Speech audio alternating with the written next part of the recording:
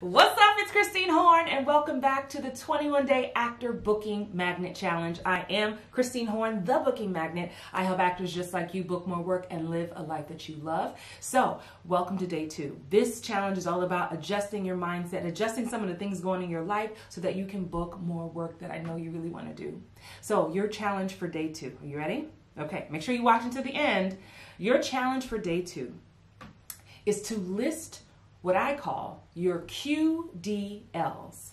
What? Your QDLs. QDLs. That is your quit doing list. Now, if you've been following me for a while, you've heard this before, but it's important for you to revisit this every year. What does that mean, Christine? Quit doing list. I want you to take inventory of what you've done in the past year for your acting career that has not been serving you. What have you been doing that ain't working? That goes on your quit doing list. For some of you, it might be procrastination. It might be fear of judgment. It might be waiting until the last minute to shoot an audition. It might be just not taking any action. It might be getting so caught up in your day to day life of work or school or responsibility in your home life that you have totally neglected your acting career and it is eating you up from the inside out. Whatever it is, it's personal to you. You don't have to share with anybody. But if you're feeling confident, you can go ahead and put one in the comments. What is at least one thing you want to quit doing this year? You're going to quit doing it.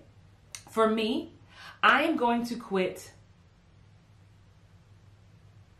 procrastinating on the things that will really make an impact, which for me is doing more writing and producing of my own content it's really easy for me to produce other people's content and help other people, but sometimes I forget, well, not forget, let's be real, I neglect myself and my creative side.